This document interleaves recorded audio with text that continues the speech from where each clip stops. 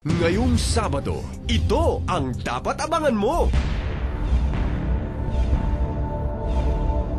Minsan lang mangyari ito, kaya please welcome Mr. Paulo Bidiones. Dala mo na ba ang iyong ah, survival kit of knowledge? First time ko sumali ng game show na solo eh. Kaya be gentle. Hanggang anong level kaya siya magsusurvive? Sa anong narrative form naging tanyag si Aesop? Fable. Ay, sorry, wala pang choices. Sorry. Kinakabahan ako eh. Siya na kaya ang ating ultimate 2 million peso survivor? Hirap? Makayanan kaya ni Paulo ang challenge ni Bossing? Very tough yan, ha? Very, very tough. Abangan sa Who Wants to Be a Millionaire? 6.30pm sa Weekend Winners ng TV5.